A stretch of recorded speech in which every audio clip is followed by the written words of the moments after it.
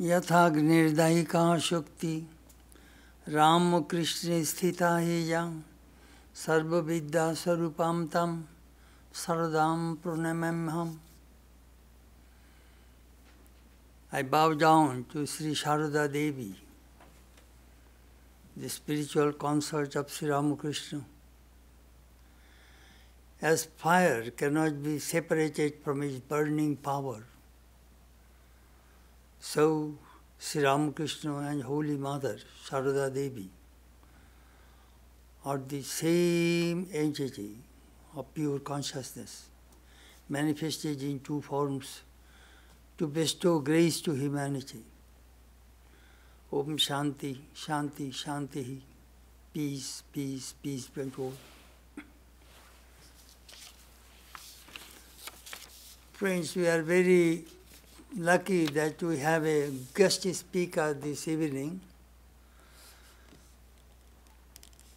Pravrajika Virajaprana, a senior nun of Vedanta Convent in San Francisco.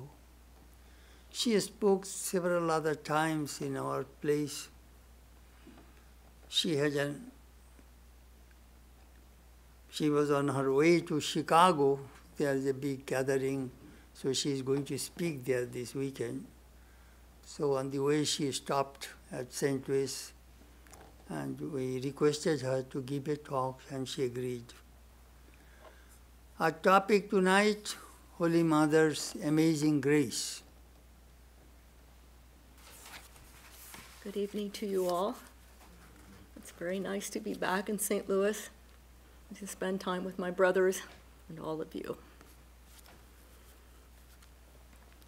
Ramakrishna Gata Pranam Tannama Shravana Priyam Dhadbhavaranja Dhadbhavaranjitakaram Vishwamatra Swarupinim,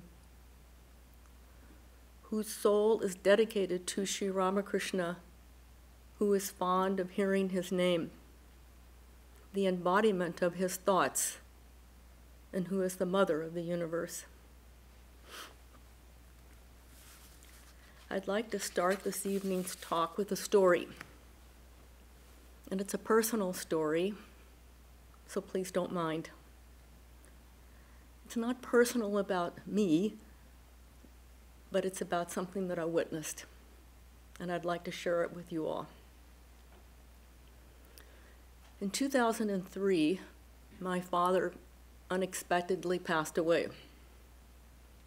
And at that time, my mother seemed, she seemed to be fine. I went back to San Francisco, and within a few weeks, I got a phone call from a relative who told me my mother was diagnosed with a fatal cancer and she was not going to live long. So I went to pay my last respects to her, and I took a small photograph of Holy Mother. And when I took the picture out of my bag, my mother said to me, Oh, she's, she's on your altar. She's in your chapel she meant in San Francisco. She recognized her. I said, Yes, that's true. She is. Now, keep in mind that my mother was a very devout Catholic, and she was devoted to Mother Mary, the Blessed Virgin. She had a statue of the Blessed Virgin on her dresser next to her bed. And I told her, you know, Sarada Devi is the same being as the Virgin Mary. It's just her form is different. If you pray to her, she'll answer your prayers. And with that, I put the picture of Mother next to the Blessed Virgin. Okay, so then fast forward, maybe eight months later, she only had a few days to live. So again, I went to see her. And when I went into her room, I said, Oh, where is Sarada Devi? I didn't see her on the dresser. And she opened her eyes and she said, I saw a light when you said her name. And I was, I was dumbfounded. And then she said, She's in the other room. So I went to the living room She had a small table there, and on that table she had a series of saints. She had Saint Francis of Assisi and Saint Anthony of Padua and the Blessed Virgin, and there was Holy Mother there with all of her friends. So I took Holy Mother's picture into her room and I placed her above so that she could see her from her bed. Now, she died like maybe a day or two later, and she was in terrible pain. When I put that picture there, she opened her eyes and she got this unbelievable, beneficent look on her face, and she said, She's smiling at me. And I thought, Mother's grace is truly amazing. There was some communication between my mother and the Holy Mother. What it was, I'll never know. But toward the end of her life, um, she had this wonderful smile on her face as she was looking at the Holy Mother. It made me think, and I thought it's really difficult to understand how the Divine Mother embodies herself in a human form to satisfy our needs. She supports us, she protects us, she transforms us. But it's an undeniable fact, and that's grace. The embodiment of Divine Mother in a human form you know, grace, as Swami was saying, it's not easy to define. It's not a philosophical concept. It's not an idea. Grace is an undeserved blessing. It's conferred on us regardless of our merit or our fitness. It's freely given. It's something that we experience deep within. Now, as all of you know, you know, the Holy Mother was born as a very simple woman in a remote village in Jayrambati in the middle of the 19th century. She was extremely shy and retiring away from the public gaze. So, how to imagine that such a self effacing, shy woman was actually the Divine Mother of the universe, ready to bestow her grace on one and all. It's difficult to understand, really, in the 21st century, and not just now. It was difficult even during her times for those who lived with her to recognize who she was. Mother's silent life and her influence is really a mysterious play of human and divine. I mean, she lived her whole life veiled physically but not just physically, also spiritually. Her divine nature was veiled by her humanity. But for all intents and purposes, Mother was human in, all respects. And that's how she could relate to us in her human form. Swami Saradananda once remarked that Holy Mother led a very unassuming, commonplace life hiding her spiritual stat- status as though she were in disguise. Well, I would say it's not as though she were in disguise, she was in disguise. You know, Sri Ramakrishna used to say that his divinity was concealed. And he would give an example of a band of minstrels who suddenly appear in a village and they dance and they sing and they return and nobody recognizes them. When Holy Mother came and went with the Sri Ramakrishna's minstrels, and nobody recognized her either. She was so modest and so adept at concealing her divinity that even Sri Ramakrishna's monastic disciples, who were spiritual giants themselves, didn't recognize her. Swami Vivekananda wrote a letter in 1894 to his brother disciples addressed to Swami Shivananda when he was in this country. He was praising Shakti and the need for it in the world that was in a desperate straits. He said, You have not understood the wonderful significance of Mother's life, none of you. But gradually you will know. And gradually they did know. And further, when we consider Mother's life after the passing of Sri Ramakrishna, how she lived in Kamarpukur in utter poverty and neglect, it's really heartbreaking. And her relatives, Ramakrishna's relatives, they ignored her, they deserted her, and Ramlal, Sri Ramakrishna's nephew, even discontinued the small stipend that she was getting from the Kali temple and yet she bestowed her grace on all of them unstintingly. Ramakrishna used to say that Mother was the embodiment of Mother Saraswati, born to bring knowledge to people. But she wasn't born just to bring spiritual knowledge, excuse me, in the highest sense. She brought all kinds of knowledge, including in her own subtle way, knowledge of ourselves, our personalities, our shortcomings, our limitations, so that we could become aware of them and overcome them. She was also Sarada, the giver of wisdom. Sri Ramakrishna considered her as the primordial power, energy of the universe. In the Shakta Tantras, there is this idea of the Dasha Mahavidyas, these ten supreme powers, enumerated as the ten wisdom goddesses, such as Kali or Tara, Tripura Sundari, Bhuvaneshwari. Holy Mother is considered as one of these manifestations of the wisdom goddesses. And as we know, Sri Ramakrishna worshipped her as Shodashi, and Shodashi is one of these wisdom goddesses who's endowed with the 16 supernatural or supercosmic powers. And she's especially gentle, calm, and compassionate. You know, once Sri Ramakrishna alluding to Mother's divinity, he cautioned his nephew Hridoy. Hridoy used to speak to Mother very rudely at times.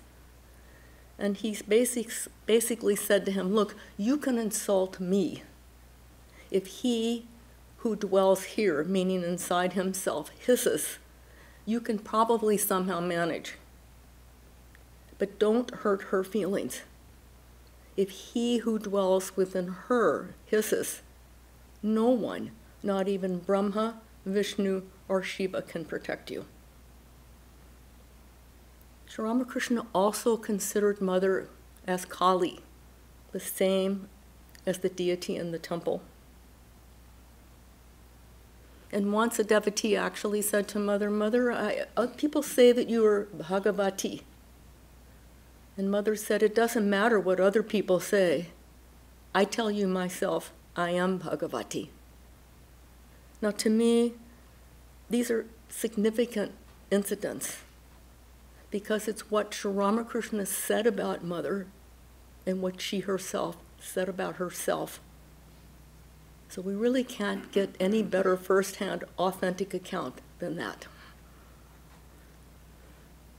There are a number of incidents in Mother's life where she revealed her divinity, but they were rare. She's also Bhukti Mukti Pradayani. She's one who fulfills all of our needs, secular as well as spiritual.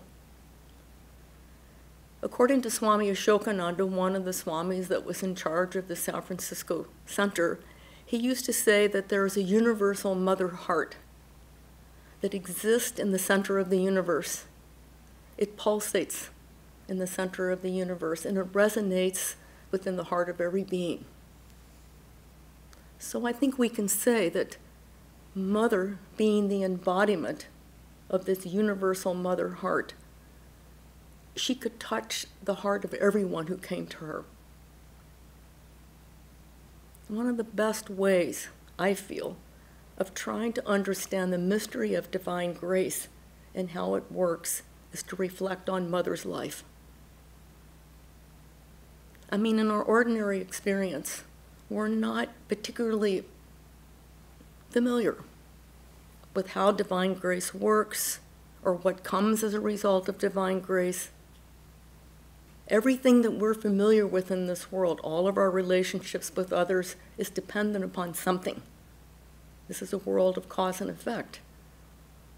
So we're not familiar with something that doesn't fall within that category. That's the structure of the relative world.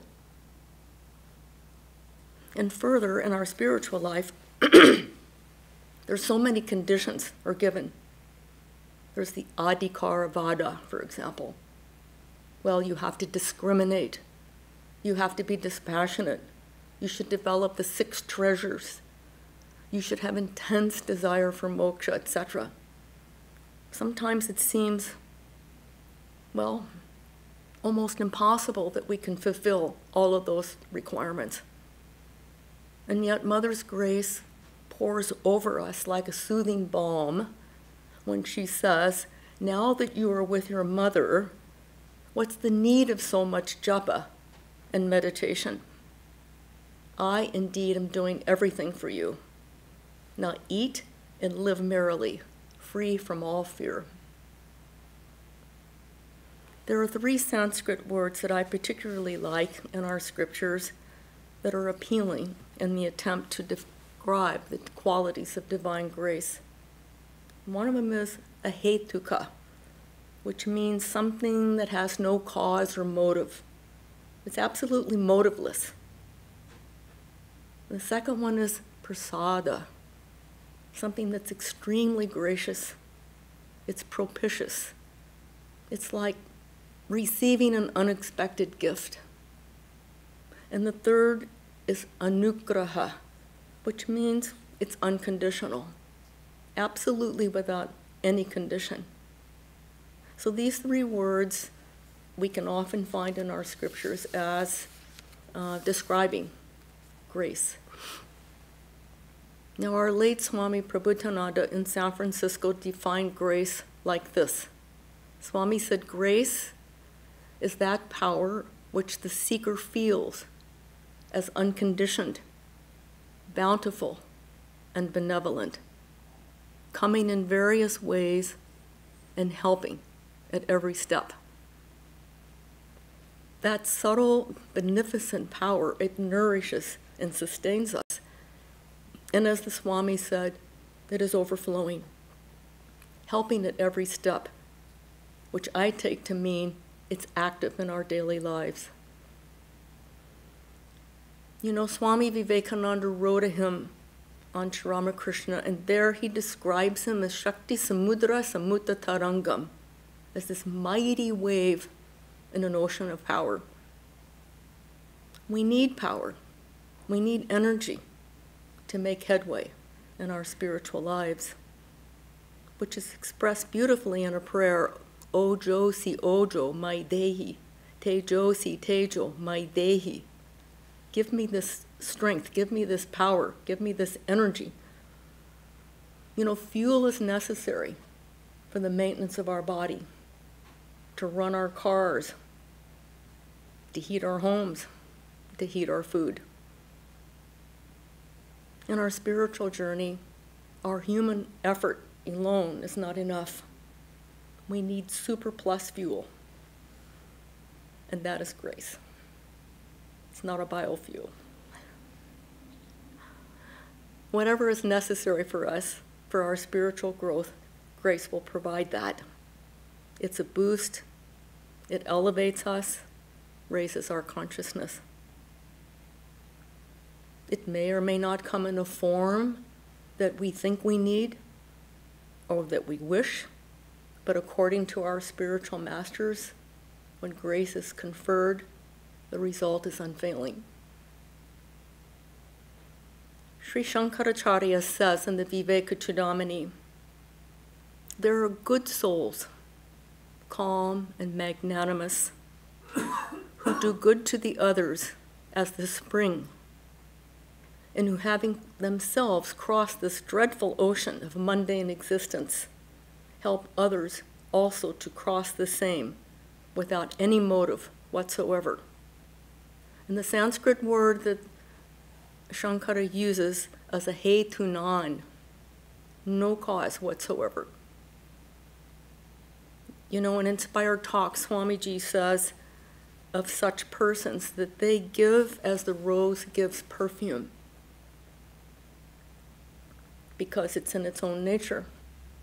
As Swamiji says, utterly unconscious of giving. So, our Holy Mother was an extraordinary embodiment of this magnanimity. She showered her grace on everyone without the least calculation, and she was completely unaware that she was doing it. As Swamiji said, utterly unconscious of giving. It was so natural to her. There are no special qualifications required for Mother's Grace. She's ahetuka.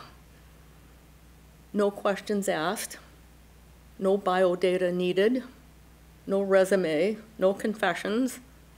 Her grace is beyond bargaining, it's beyond questions. You know, Sri Ramakrishna was very strict he tested his devotees in various ways before he accepted them as disciples. Mother never did so.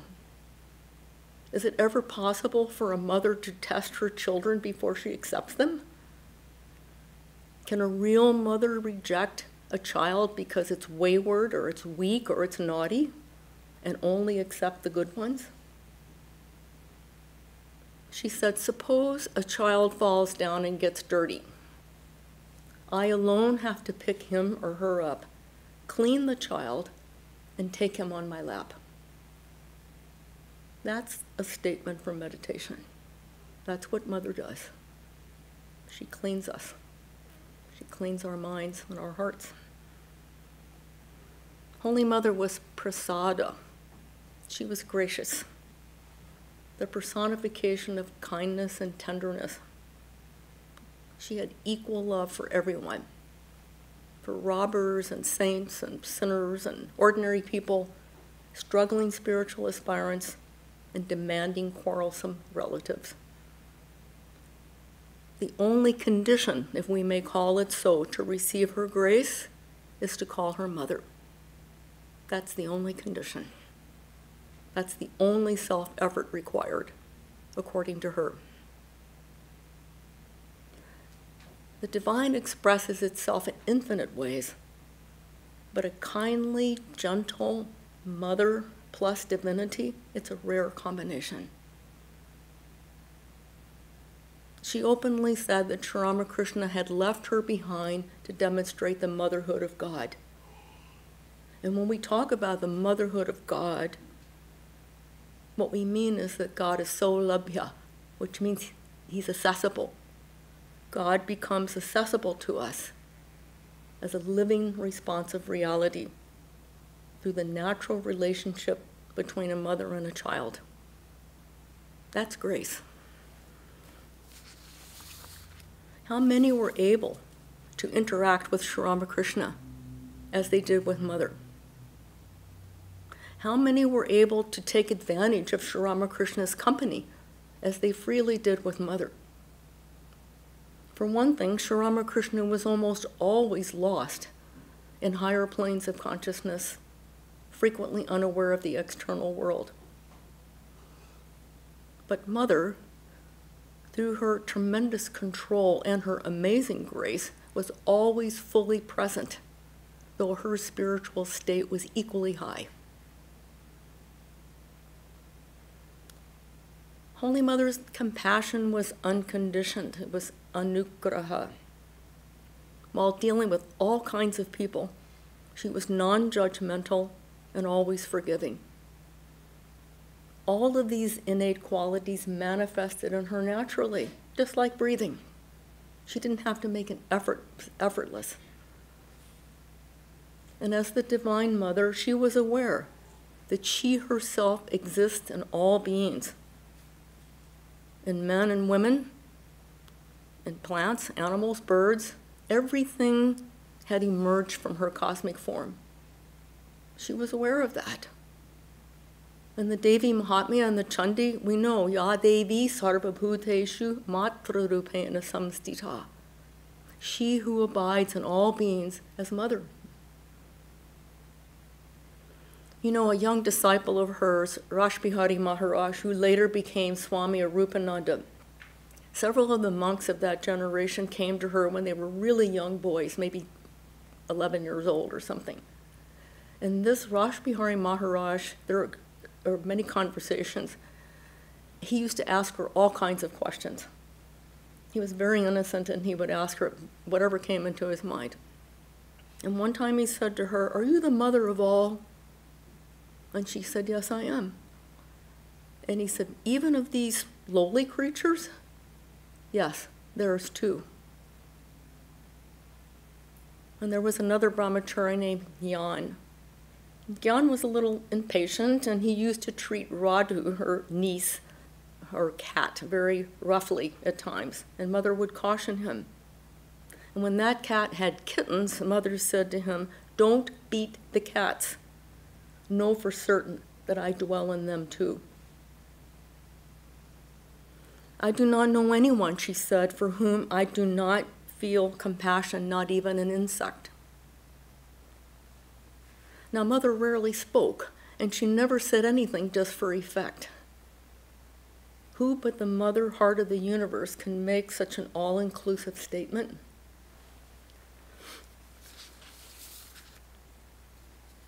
Mother always encouraged others to address her and to interact with her as they would their own mothers. She avoided any excessive display of divinity. She didn't want to create the least separation or for her disciples or devotees to feel that they weren't intimate with her. She wanted them to feel completely natural to her. Through her grace, this is how she subtly connected a person with the divine. Once she told Girish Ghosh, Sri Ramakrishna's Bohemian devotee, when he had asked her, What kind of a mother are you? And she said, You're a real mother not just the wife of your guru, not an adopted mother, not a vague mother, not a stepmother, but your real mother.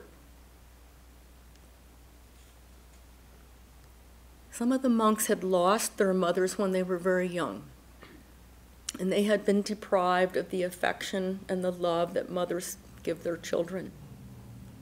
And later they reported that they actually saw and felt the love of their mothers in Holy Mother. She had quietly filled the void in their hearts. Mother sent one such monk on an errand, and this monk had never known his mother. She had died before he was born. So she said to him, she was sending something to a person, and she said, Please tell this gentleman that mother, and she emphasized the word mother, has sent this. And the monk said, she said, Repeat it. I will tell him that she has sent this. So mother repeated it. Tell him mother has sent this. Second time he said, I will tell him she has sent this. So this went back and forth a few times, and finally he said, I will tell him that mother has sent this. This is grace. Mother understood and sympathized with everyone. Her grace knew no bounds. Her helping hand extended to all, regardless of the need, spoken or silent.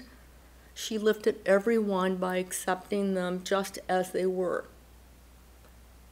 As they were, so she accepted. Everyone found a home with her. Mother did not have any homeless children. She was the mother of all without any barrier or condition.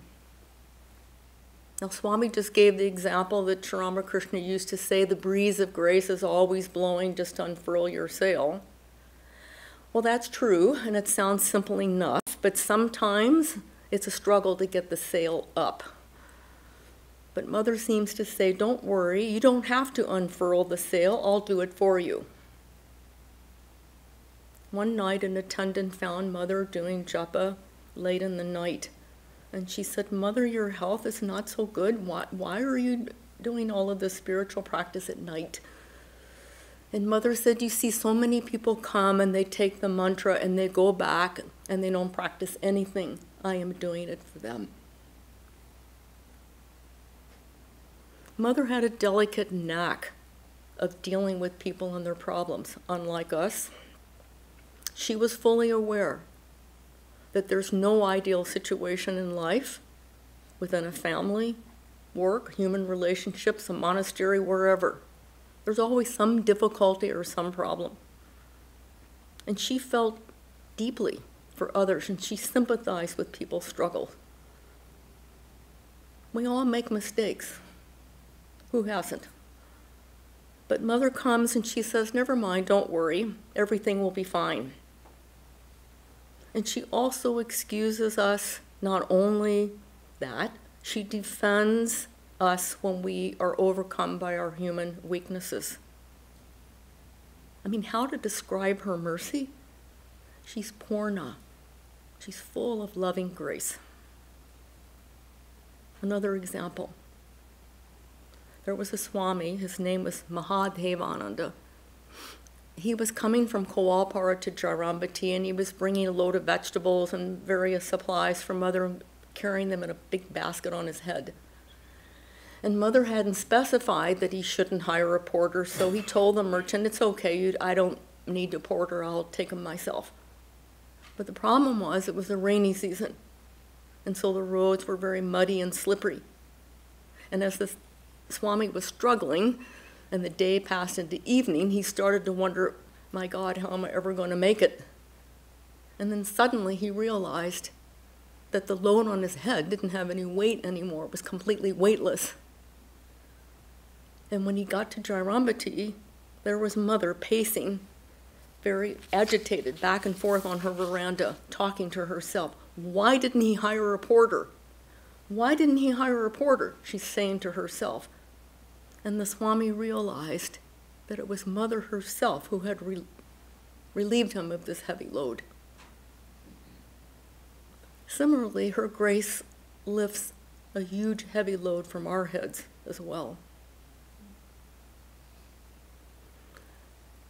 When Mother interacted with recalcitrant individuals, such as Radhu, her niece, and her crazy mother, Surabala, she never rejected them, she never condemned them, she never complained about them or anyone else. But she was always generous and impartial, even when her patience was tried to its ultimate limits. There's so many examples that can be cited from her household days and affairs to illustrate Mother's superhuman endurance. From Radhu forcefully throwing an eggplant at her and hurting her, to Surabala insisting that Mother had drugged Radhu with opium to keep her under her control. And at one point was about to strike Mother on the head with a piece of firewood. But unbelievably, Mother took the dust from her feet and sprinkled it on Radhu's head and begged the master to forgive her. And as far as Surabala was concerned, she forgave her and overlooked her insane and obnoxious behavior again and again. If this isn't supreme grace, what is?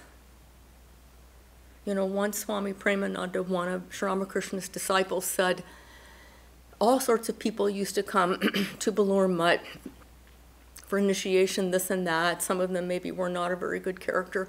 And he said, we couldn't take it. So all of these people, we would, we would send them to mother. He said, if we had taken them on, we would have been burnt to ashes. Mother could absorb everything. And further, there is the striking example of Amzad, the rough Muslim dacoit whom all the villagers were afraid of, and the saintly, gentle Swami Saradananda, both of whom she considered equally her sons. They were the same to her. Can we even conceive of this? It's inconceivable. And conversing with Amzad one time when he hadn't been around for a while, he revealed that he, he was absent because he was in jail because he had stole a cow, and mother completely ignored what he had said and went on with the conversation as, as if she hadn't heard it. And later she said to one of her attendants there, My child, several among those who come here are up to anything in life. No type of sin has been left undone by them. But when they come here and they address me as mother, I forget everything and they get more than they deserve. To get more than one deserves is grace. Again, I am the mother of the wicked. I'm also the mother of the virtuous. Never fear. Whenever you're in distress, just remember I have a mother. Now, to me, this is really astonishing. It's not just an empty assurance, but it's Mother bestowing her grace equally on those who were good and virtuous, as well as those who were mean and immoral. That's really amazing. Many people still feel Mother's grace from all walks of life. We simply have to remember that we have a mother. That's all that's required. You know, once she accepted some fruit for offering from the master from a thief, and her attendant noticed this and was horrified, and she vehemently objected to it, and Holy Mother scolded her. She said, I know who is good and who is bad. That was the end of the conversation. Another time, a cook whom Swamiji had sent out from Belur Math because he had stolen something, he, he took refuge in Mother. And she sympathetically fed him. And when Swami Premananda came to visit her, she said, Take him back. He stole something because he's very poor. And of course, Premananda was trembling because when Swamiji was annoyed, everybody stayed away from him. And as they were approaching the ground, Swamiji noticed Swami Premananda bringing the cook back. And he said to those there, See this Baburam? See this rascal? He's, he's bringing this person back. And Swami Premananda said, told him what Mother had said. Swamiji instantly calmed down. He accepted Mother's word. He remained quiet and never said anything else. You know, those who were rejected by society, they always found a place with Mother. Just as Jesus said, Come, all you are, who are heavily laden, and I will give you rest. Mother seems to say, All of you come to me anytime, day or night, under any circumstance. You're my own. I will never reject you. A young girl came to Udbodhan one evening and she was crying. And she wanted to speak to the Holy Mother. They spoke for some time, and after a while, Mother went out in the middle of the night with this girl to her hut. Some of the Swamis noticed this and they followed at a distance to make sure she was all right. Mother went into that hut, and very soon it became very quiet. And after some time, the crying stopped, and mother came out. She silently came out. She never said a word to anyone about what had happened. No one ever knew what had transpired within that hut at the dead of night. Swami Keshavananda was the head of the Koalpara ashrama. He was a little hot-headed, and the junior monks, they often, they didn't get along. And they would go and they would stay with mother or they would stay with Swami Saradananda. So this Swami went to mother and he complained. And he wanted her to send these monks back to him. He felt in this way he could control them. When mother heard this, she flared up and she said, I am their mother. How dare you to ask me to speak to the monks in that way? Wherever my children go, the Master will look after them. I can never ask anyone ever not to come to me. Her grace flowed like a river swollen after the monsoon over that troubled young girl and the Swami who had realized his grave mistake. Another mark of Mother's grace is the bestowal of fearlessness. We never know what's going to happen to us in this very unpredictable world. But Mother rushes to assure us remember this always that there is one behind you who will come at the right moment. With this reassurance, Mother removes all of our fear, especially the ultimate fear and uncertainty, the fear of death. She's always there standing beside us, smiling at us. To someone struggling to control his thoughts, she remarked, It is the nature of water to flow downwards, but the sun's rays lift it up towards the sky. Likewise, it is the very nature of the mind to go to lower things, to objects of enjoyment. But the grace of God can make such minds go to higher things. And that is exactly what she did through her grace. She directed the minds of those who came to her Godward. She lifted them up.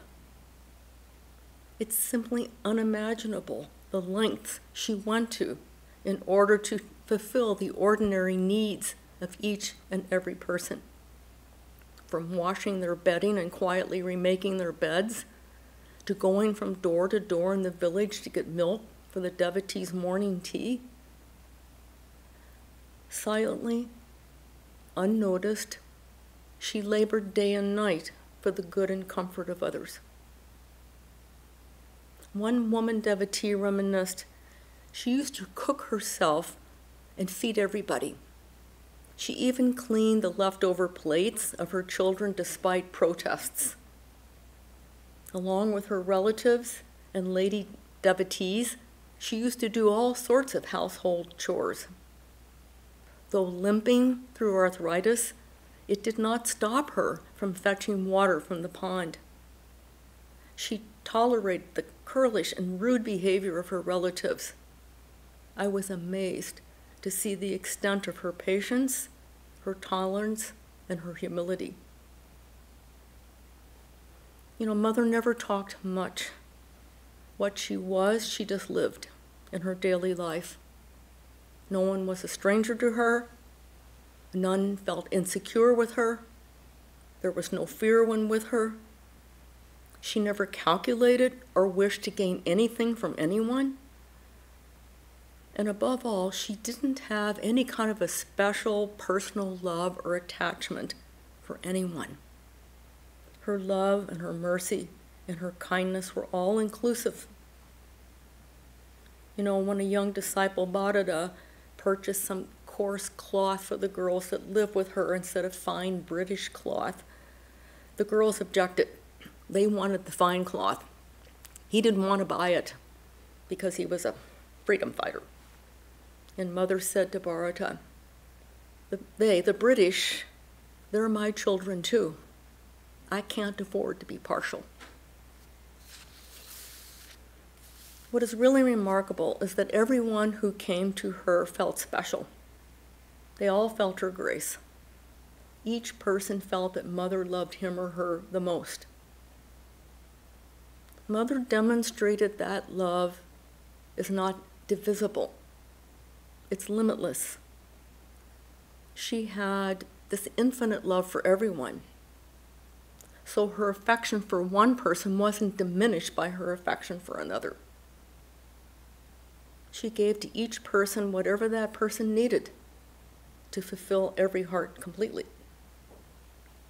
She even defied Sri Ramakrishna on several occasions. When the young boys were coming to Sri Ramakrishna, Holy Mother would feed them nicely in the evenings, giving them several chapatis. When Sri Ramakrishna noticed this, he told her that eating so much would spoil their spiritual practices. Well, that was too much for her. And she responded that they were young boys and one or two extra pieces of bread wouldn't make any difference he didn't have to worry about how much they were eating. And furthermore, she would take care of their spiritual practices. Sri Ramakrishna withdrew, smiling. On one occasion, a woman expressed her wish to carry the master's food, and later he objected to Holy Mother that her character was not good and she shouldn't be allowed to do so. And Mother replied to Sri Ramakrishna that she could not make that promise of not allowing someone to do this small service for him. She said, When someone calls me mother, I cannot deny anything to them. They are also your children. Why do you deny them the opportunity to serve you? I cannot do that.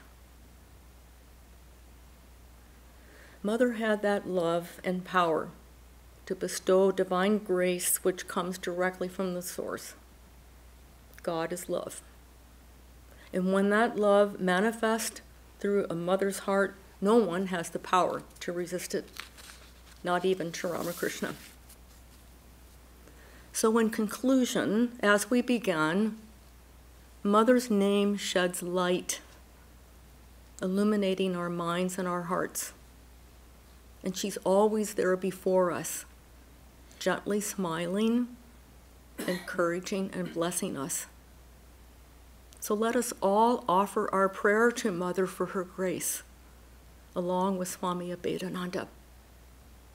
Kripam Kuru Mahadevi Suteshu Pranateshu Cha Charana Shraya Dhanena Kripa Mayi Namostute. Bestow your grace, O Mother Divine, on your children who have taken refuge in you, and give us shelter at your feet. O compassionate one, salutations to you. Thank you.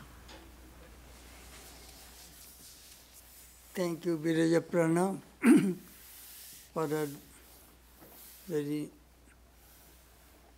inspiring and beautiful talk on Holy Mother's grace.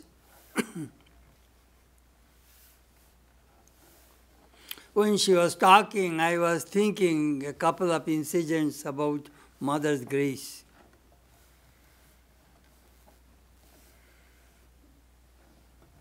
Swami Parameswarananda, a disciple of the mother who was the head of Jayrambati for many years.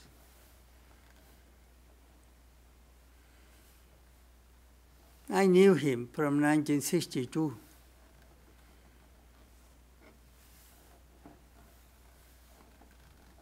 One day Holy Mother told him, My son, she was initiated by, he was initiated by Holy Mother. You go to Belur Math and take your monastic vow from Brahmananda. It sent her. She sent her. She sent him. Why? Go. She who went and to sannyas came back.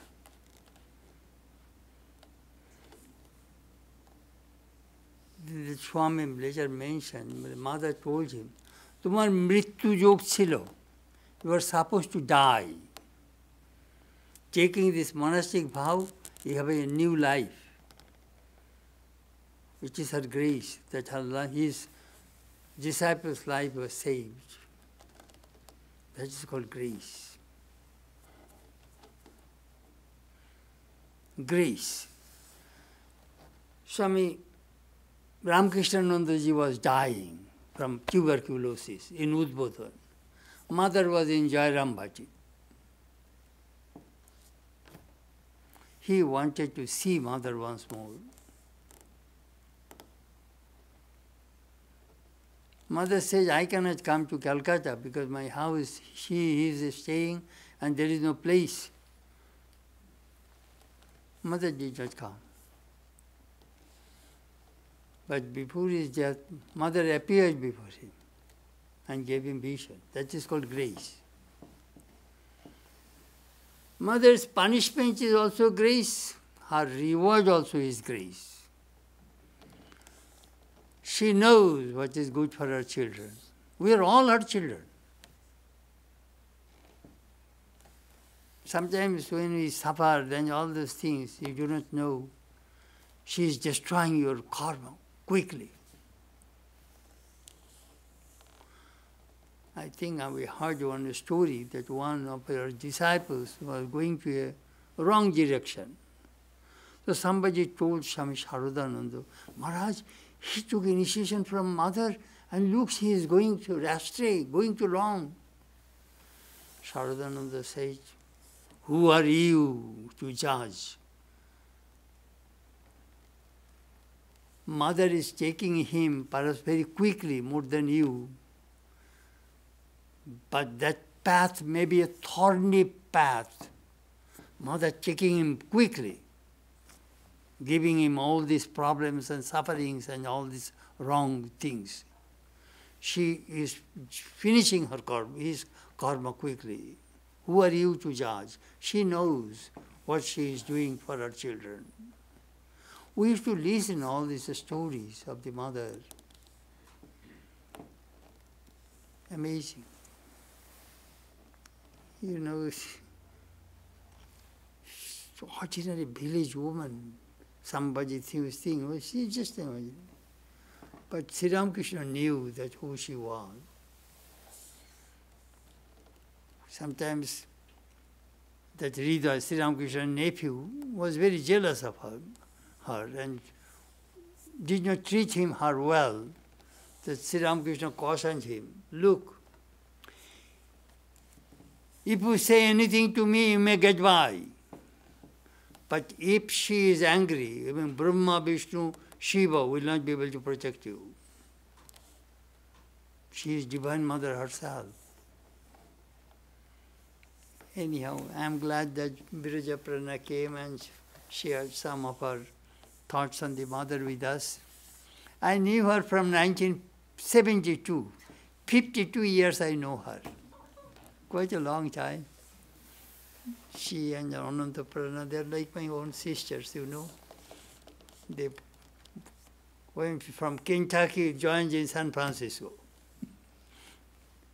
Little girl, now she an old lady.